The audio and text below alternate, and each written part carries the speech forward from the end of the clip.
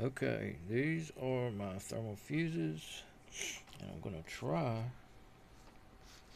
see if it's possible to do a macro video of them. I don't think it lets you set macro.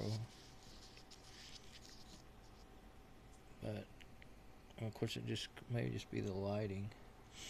But I've tried this before and I've never got it makes it more blurry instead of clearer, so no good.